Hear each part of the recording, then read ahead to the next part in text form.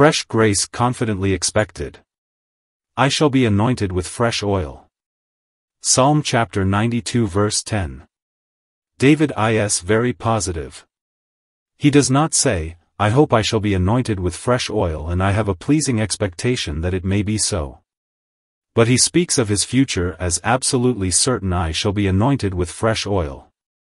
Nor will it appear at all wonderful that he should be so positive if you read the psalm, for his subject there is the ever-living and all-sufficient God.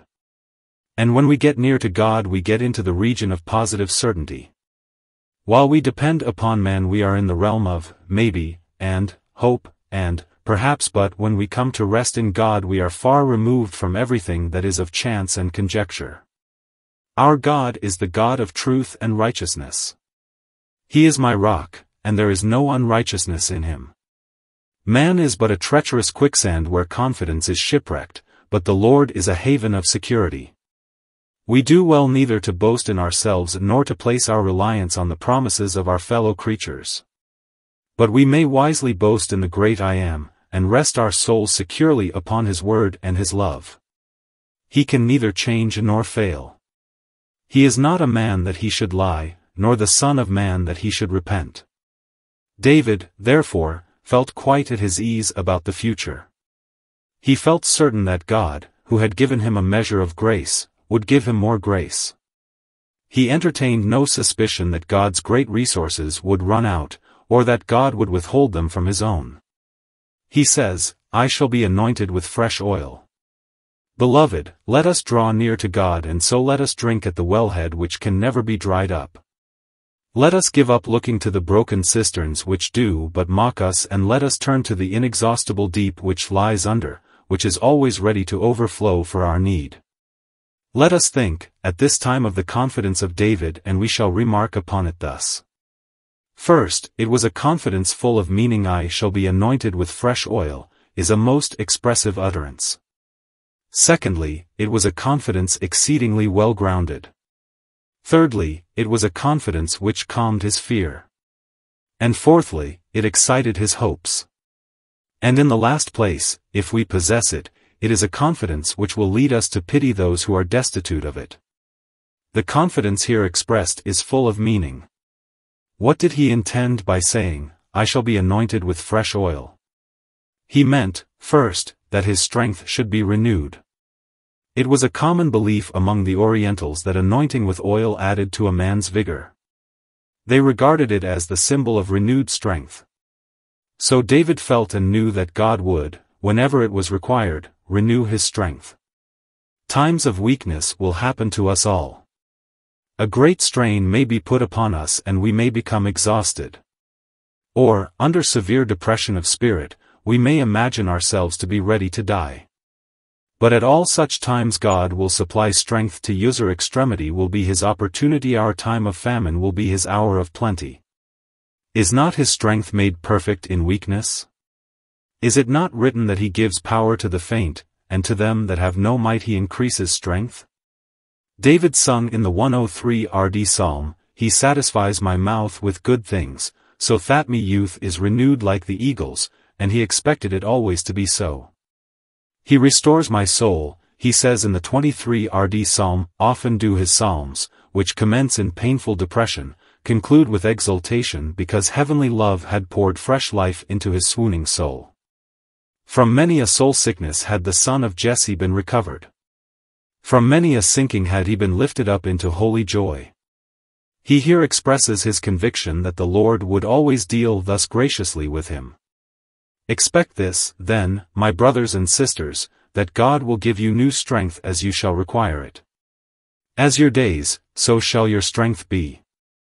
He gives more grace. Go to him in the time of your weakness, in the confidence of this text I shall be anointed with fresh oil.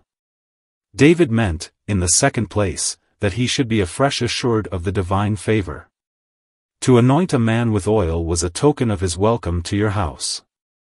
His feet were washed that he might be refreshed and then the notable guest, worthy of special honor, was anointed with perfumed nard. So David says that as he had received tokens of divine favor before, he should receive them yet again. O beloved, you know what it is to revel in the smiles of God and find a heaven in His manifested love. You have basked in the sunlight of your Father's love many a time and felt an ecstasy such as worldlings cannot imagine. Has not the Lord been pleased to make the name of Jesus to your souls like ointment poured forth? Oftentimes has he brought you into his banqueting house and his banner over you has been love. He has made for you a feast of fat things, of fat things full of marrow, of wines on the lees well refined. You look back upon these seasons with inexpressible delight and perhaps at this moment you are saying, Oh, that it were with me as in months past. Pluck up courage, my brothers and sisters you shall be anointed with fresh oil. There are more tokens of love awaiting you. Further signs of your master's love shall be afforded you. You need not cry with Esau, have you but one blessing? Bless me, even me, O my Father, for the Lord abounds in blessings and he delights to bestow them upon his beloved.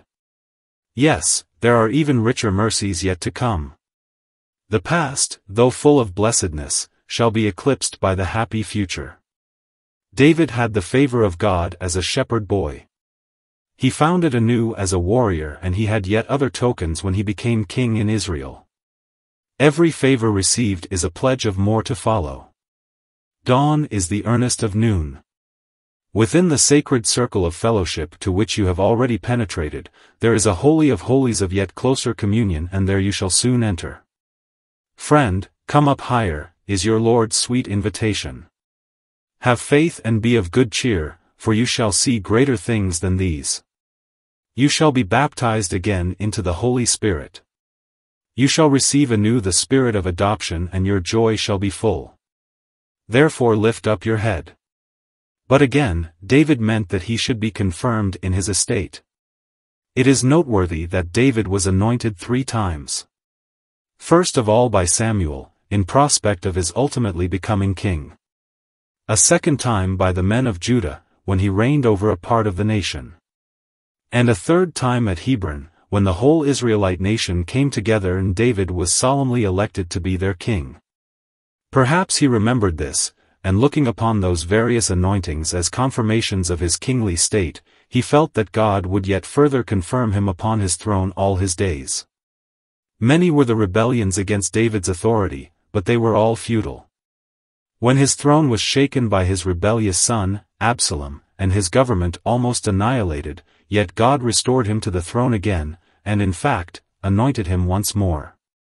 Now this day, beloved, you and I, who are believers in Jesus, are kings and priests unto God. But if Satan could do it, he would soon bring our kingdom and priesthood to an end. He is plotting and devising by all manner of means to work our destruction. But it is written, You maintain my lot. The great keeper of our head is one who can never be overcome. The Lord, who has set us on the throne with his Son, will neither suffer his Son nor us to be driven from it. The Lord reigns and while the Lord reigns his people shall also reign. Because I live, you shall live, also, is the word of Jesus, and upon that word he has caused our souls to hope. He will confirm you again, my brothers and sisters, in your sonship. He will make you again to say, Abba, Father, with an unfaltering tongue. He will confirm you in your position as a member of his body. He will make you feel that the anointing of the head is still descending upon you and you shall thus rejoice again and again in full assurance that what God has made you, you shall be even to the end.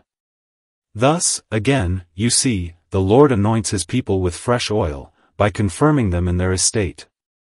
Furthermore, David meant that he should be qualified for his office by the bestowal of fresh grace.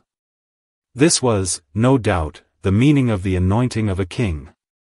It was the type and token of his receiving royal wisdom and authority. So, too, in the anointing of a priest, it was the symbol of the Spirit of God being given to him that he might discharge his sacred office. David felt that he should frequently need to be taught of God, guided, enlightened and instructed, so that he might, as king and leader in Israel, act rightly. Therefore he says, I shall be anointed with fresh oil. Beloved, this is a very sweet confidence for us. If you are a minister of the gospel you will have a thousand times for feeling yourself to be incompetent. And you might well throw down the staff of your pastorate and leave work if you were not sure that your sufficiency is of God. In such work as the instruction of the young, the visitation of the sick and the reclaiming of the fallen, or whatever it is that God has called you to, you will frequently tremble as you discover, more and more, your own unfitness to be used of God. But this will be counterbalanced by learning more and more the divine faithfulness. Do not relinquish your work because of your feebleness, for you shall be anointed with fresh oil. Do you need wisdom? Ask it of the Lord, for he gives liberally. Do you need a warm and zealous spirit? Are you conscious of growing cold? Some drops of his dear love falling into your heart will set it on a blaze and make you as earnest as you would desire. Do you need more power in prayer? Go to him who understood the art of wrestling on the mountainside at midnight and he will teach you how to pray. Is there anything you lack in order to the full discharge of the ministry to which God has called you? Wait upon the Lord for it with unwavering faith and he will grant it to you, and you shall be anointed with fresh oil. Once more, I think David meant that he should also have new cause for delight. Anointing with oil was intended to give pleasure. The element of joy in religion is looked upon with indifference by some, but they are unwise. There are some, nowadays, who would like to strike out everything from mortal life which gives pleasure. We have societies, now, which are anti to every mortal thing that is pleasant and agreeable. And if there remains one solitary enjoyment to mortal men in this vale of tears which has not some society opposed to it, I have no doubt some genius will commence a crusade against it tomorrow. The theory is that all wholesome things are nasty and that all gratifications are deadly. I wonder they do not make the parish pump run with wormwood tea and paint the meadows a dun color. Then, when we have abstained from all that is either beautiful or agreeable and reduced ourselves to the condition of the savage who eats acorns and lives in a cave, we shall have climbed somewhat near perfection. Now I do not believe in this theory for ordinary life, much less for spiritual life.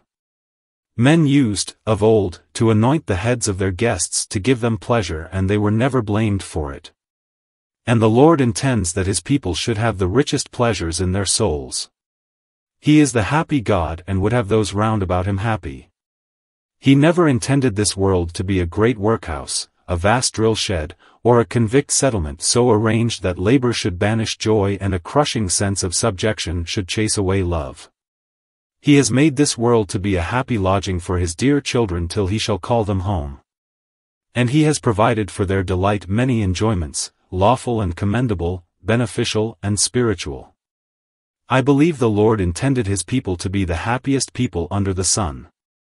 When I see certain of them repining, complaining, fretting, worrying and calling that state of mind, experience, I pray, Lord, save me from that experience, and give me to have your joy fulfilled in me. Our Lord Jesus was sorrowful, not as our example, but as our substitute. He was put to grief that we might be joyous. He bore our load that we might have no load to carry. He was full of cares for us, that we might have no care but might rejoice in him all our days. Let the children of Zion be joyful in their King. Rejoice in the Lord always, and again I say, rejoice. The atmosphere we breathe should be fragrant with thankful joy. Like flowers, we ought to load each breeze with the sweet perfume of holy gratitude. We which have believed do enter into rest, and in that rest we discover new joys each day. The banks of the river, the streams which make glad the city of God are not dark with weeping willows, or dreary with a jungle of thorns and thistles, but they are lovely with the rose of Sharon and the lilies of the valley. And among their shady groves the righteous lie down at peace and sing their song of loves touching their well-beloved. Yes, we did rejoice, we have rejoiced, and we mean to rejoice again. I shall be anointed with fresh oil. Put all those five thoughts together and you have a great text before you, too big for me to preach from, but it may furnish you with many a theme for thought. It is a bough with many cluster seat thereof and be glad. 2. The confidence of our text is well grounded because it is grounded upon God. We could not reckon upon having supplies all our lives if we depended upon the granaries of Egypt, or upon the storehouses of the wealthiest of the land. But when we rest in God we may boast ourselves as we may. I stood the other day, as you have often done, by a spring, pleased to see it constantly bubble up with cool, refreshing water. One who came there to fetch water for her house, said to me, It is always the same, sir, always the same. I never knew the sharpest frost to freeze it, or the most burning summer to dry it. The stream is equally full at all times in the year.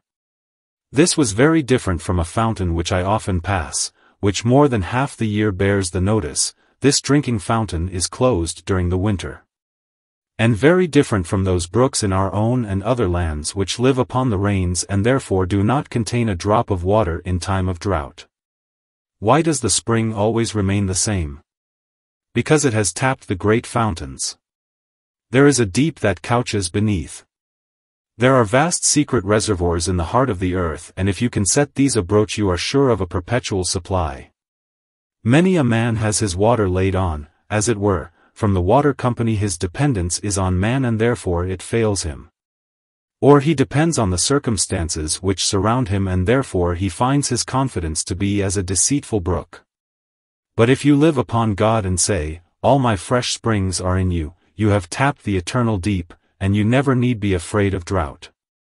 You shall drink draughts of living water you shall be anointed with oil. Beloved, it is a grand thing to be thrown flat on God, however hard the fall. It is a glorious thing to hang upon the eternal arm with nothing else to hold you up. Just as yon unpillared arch of heaven never starts or quivers, notwithstanding that it is without a buttress, so does faith, when it is built on God, stand gloriously serene in its mighty strength. Trust you in the Lord, and do good, so shall you dwell in the land, and verily you shall be fed. We are quite sure of fresh supplies because of our union to Christ.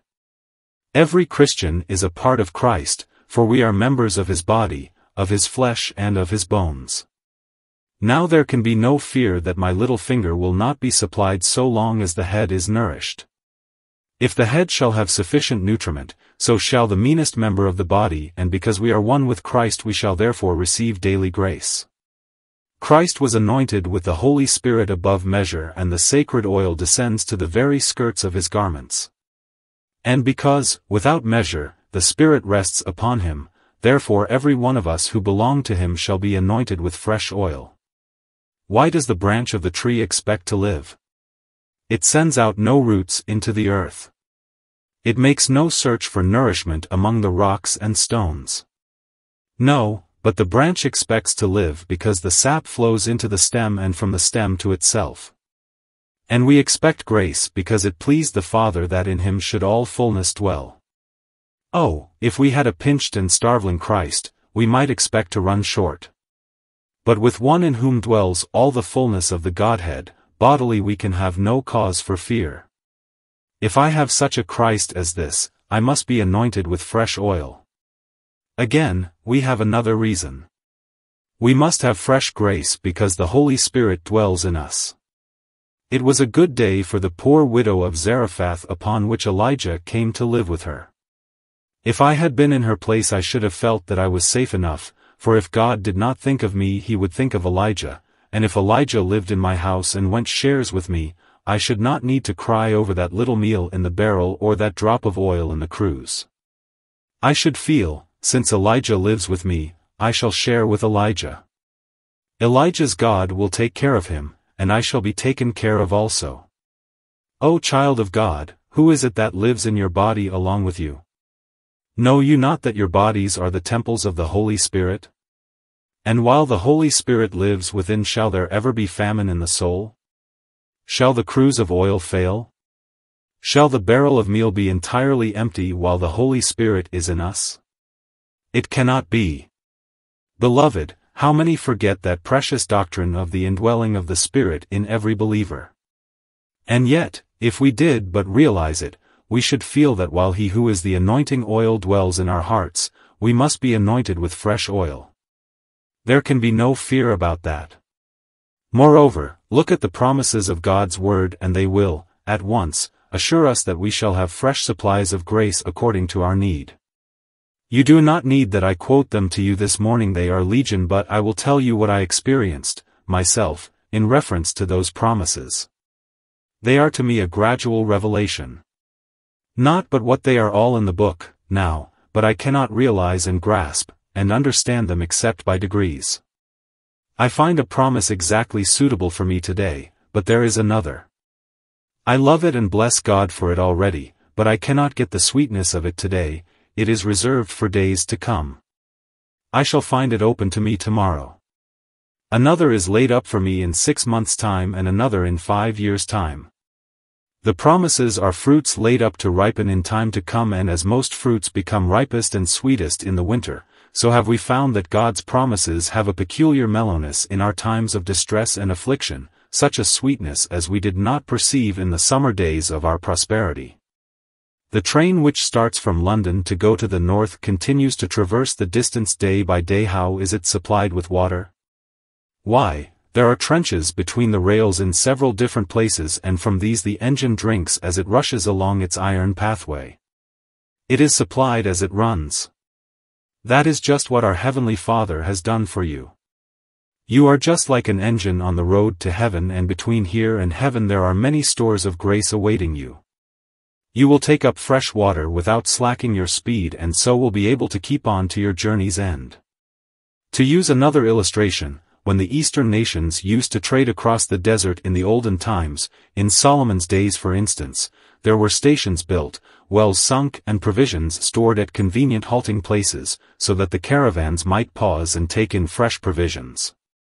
The caravans reached their journey's end because the long way was broken up by a series of resting places. Now, the promises are resting places for us between here and heaven. There is a long line of them at well-ordered intervals and as we journey through this desert world we shall be constantly coming, first to one, and then to another, and then another, and another, and so we shall find fresh provision stored up that we may not fail. The manna will fall daily till we come to Canaan. The promises of God are so numerous that we are sure we shall be anointed with fresh oil. Once more, beloved, up till now our experience has proved that we shall be anointed with fresh oil because we have been so anointed many a time already. I appeal to you who have gone for many years forward in the pathway where Jesus leads you. Have you not known many times of refreshing from the presence of the Lord? You have had times of great depression, for changes are appointed us as long as we are here. Men may promise themselves they shall never see a change, but they are greatly mistaken. David said, My mountain stands firm. I shall never be moved, but in a very little time he sang another hymn. When I hear brothers and sisters so very confident that they shall never doubt again, I am reminded of a story I have heard of the olden times, when a young gentleman who had never travelled before went over Hounslow Heath and was accosted by another gentleman who rode by his side, and joined in an interesting conversation. Our friend said at last, I have always been told by my father that this is a very dangerous heath, but the old gentleman, I think, was exceedingly nervous, for we have come all this way without being molested by highwaymen. Yes, said the other, but now is the time for you to stop and deliver and he clapped his pistol to his ear. It often happens, when we say, I shall have no more temptations, that our very confidence is, in itself, a temptation. Oh yes, there have been times of sore trial, but the Lord has appeared for us. Up to this moment not one good thing has failed of all that the Lord God has promised. Thus far we prove the promise good. Which Jesus ratified with blood. We have no fault to find with our God. Jehovah Jireh, the Lord has provided to this day. In the mount of the Lord shall it be seen. Up to now, the Lord has helped us. Well, then, if he has done so up till now, so will he, for he is an unchangeable God. Therefore let us be assured that we shall be anointed with fresh oil. 3. This confidence calms all our fears. Sometimes, when we are not quite as we should be, we are filled with fear on account of our soul poverty. What a poor thing I am. How little grace I have. How weak in prayer. How slow in service. How frequently depressed. How easily tossed to and fro. How shall I hope to hold on to the end? Where is the answer to it shall be anointed with fresh oil? I am poor, but I shall receive my daily pension. I am weak and I have no strength in reserve, but my strength is laid up in God. Imagine two Israelites talking together one day, and one of them says to the other, Your cupboard seems to be very empty, I fear you are imprudent. But, says the other, do you know we gathered this morning an omer full of manna and it exactly supplied my family. I have a wife and a troop of boys with mighty appetites and very soon the omer which had been full was empty, but we look for more tomorrow. Nothing in the house? Said the other. Do you not feel distressed? No, not at all. Why not? Because I believe the manna will fall tomorrow morning and that there will be just as much as I shall need, so that I have no need to lay by any in store. Very imprudent, said the other. I believe we ought to make hay while the sun shines. If you will come to my house, I will show you the good stock of manna which I have carefully laid by. No, said the other, I do not care to see it just now. But I will tell you what I will do, I will come down tomorrow at dinner time and see it. So the man gathered in the morning his own fresh manna and his family was satisfied with it and delighted. And after they had eaten, he said, I will go down and see my rich friend's manna. He was much better off last night than I was. He goes to his friend's door, but his friend does not seem pleased to see him. I have come to see your manna that you stored up so carefully. But the other blushes and admits that he has none to show. Why not? His friend inquires. Well, the fact is, I do not want you to come into my tent at all. I must come forth from it myself. There is a most detestable smell all through the tent. I had to take away the manna and bury it, for it bred worms and stank. Ah, said the other, then, after all, I did well to live upon daily manna and to have no stock in hand. And you did foolishly to lay by a store. Now there may be some professors here who want to feel that they are strong enough for tomorrow, or that they have grace enough for next week they want to have such a proportion of divine strength given them that they shall feel confident about themselves for years to come. All that will breed worms and stink all human confidence, glory and pride must rot. But if you remain a poor sinner and nothing at all, daily depending on the bounty of God, you will have grace from heaven fresh and fresh, smelling of the hand which gives it every morning. Beloved, it calms our fears about our poverty when we remember that the granary of heaven is not exhausted and that as each morning breaks we shall find the dew of grace lying about our tent. This also removes our fears concerning violent temptations. We must, all of us, have felt afraid of being tempted. We are taught to pray, lead us not into temptation. Sometimes our unbelief says, if I am tempted in a certain way I shall certainly perish. My brothers and sisters, you should remember that you will be anointed with fresh oil. When the temptation comes there will be a way of escape for you. What a happy circumstance it is for Christians that it is not often that the temptation and the opportunity come together. Have not you noticed that when wrong desires stir in your mind, they come to you at times when you cannot carry them out? And at other times when you have the opportunity to sin fairly before you, you have no desire for it whatever. That is often a way of escape for God's people. Do not be distressed about temptations. There will be such in this world. Lay hold on the shield of your faith and you shall be able to quench all the fiery darts of the wicked one. But it may be you are afraid not merely of temptation, but of backsliding, and that is a very blessed fear, but do not let it depress you, for you will be anointed with fresh oil. If you had to keep yourself, you would certainly perish. If you had to sustain your own spiritual vigor, it would not be long before you would faint. But since you depend upon God and He has to preserve you, He will not suffer you to leave Him. Or if for a while you should depart from His way, He will bring your wandering heart back and set you in the King's highway once more. Or it is possible you are afraid of some great and grievous affliction. I know dear sisters who are aware that a certain disease is upon them which will one day come to such a point that either there will be a painful operation or else they may die. Dear sisters, do not fret about it. You have not sufficient strength for what is coming, but you will be anointed with fresh oil. Nobody needs tomorrow's grace today. When you are only up to your ankles in trouble you do not require the grace which you will have when you are up to your neck in it. You shall have grace in proportion. You shall have ballast for your sail, and sail for your ballast, for he is a good captain who intends to steer you into port. Do not be cast down, therefore. Some of us, it may be, have been troubled about the future death of some dear one upon whom we depend, or whose life is very precious to us. We have buried them a hundred times over in our fears. Let us remember that when the trouble comes it will be time enough for us to be cast down by it no, we shall not be cast down for God, who helps those who are cast down, will comfort us.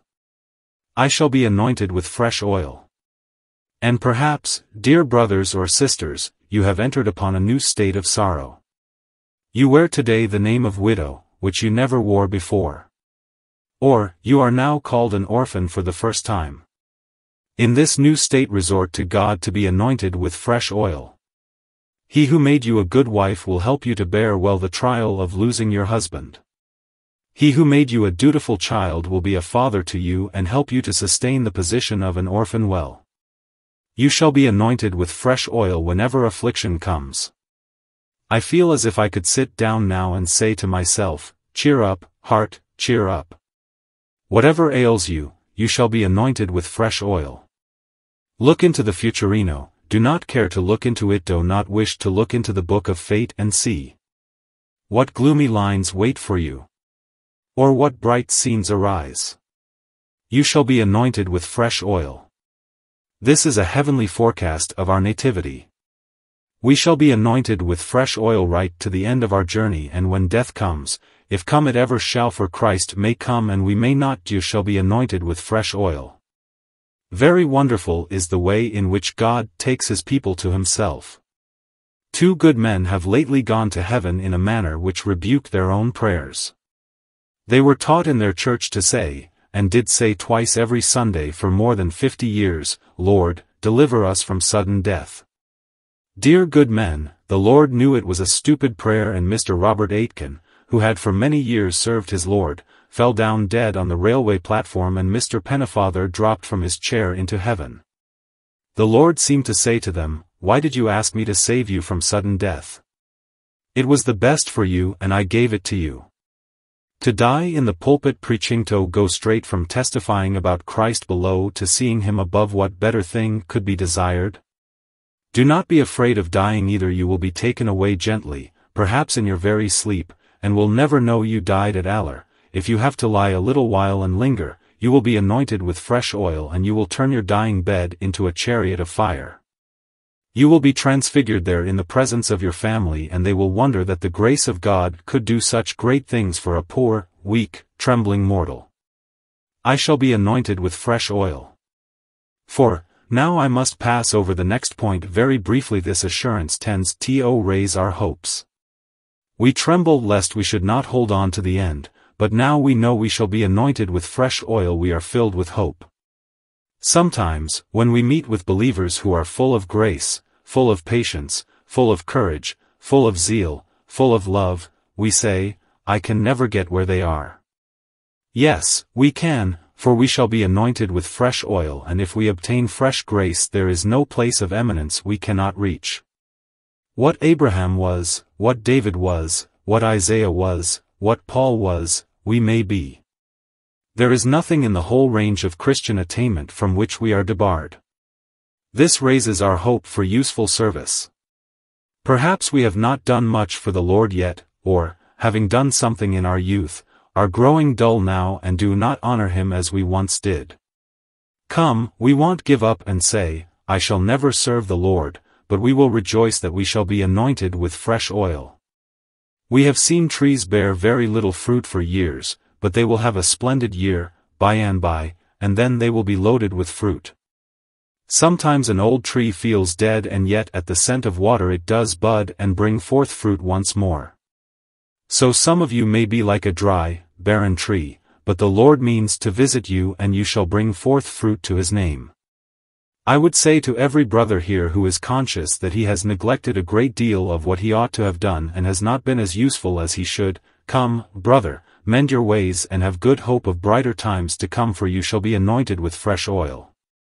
Once more, this gives us hope of the fullest fellowship with Christ. Where John was when he leaned his head on his master's bosom, I may be. Where Mary was when she sat at the master's feet, I may be, if I shall be anointed with fresh oil. Come, lift up your heads, you birds of heaven. Do not sit moping. Lift up your heads, I say, and look the sun in the face, the glorious Sun of righteousness, and rise with all your wings towards him. He will bear you up. He will draw you to himself. Does he not even now attract you by his own superlative beauties?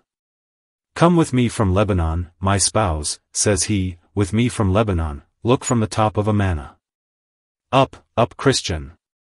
Higher, higher, higher. The Lord will help you, he will give you new strength and the highest place of devotion, the loftiest elevation of piety shall be attained by you. Lastly, this makes us feel great pity for those who cannot hope to be anointed with fresh oil. And such are all who are destitute of faith. You have your choice. You who do not believe in the unseen, you have your choice in the seen things which you can see and hear. They are before you and you are very fond of them, and you think they fill your spirit. So they may for the present, but there are evil times coming. The young man's youth will not last forever. Eyes grow dim, as every old man will tell you. The joys of youth will not come to your rescue then. The remembrance of those early joys, as past and gone forever, will only make your cup more bitter. And going down gradually to your grave, discontented and fretful, striving, still, to gratify passions for which you have no strength. Looking again to broken cisterns and finding only a little mud at the bottom where once you found what you thought crystal waters, you will begin to cry out for fresh comforts. But you will not find them. It is a blessed thing to be so rich that there is no end to your wealth and nobody can say that but a Christian. It is a blessed thing to have a stream at your feet which will never fail and nobody has such a river but a Christian. If you believe in God, God is yours and all that your soul can ever need is treasured up in the infinite God, for life, for death, for judgment, for eternity.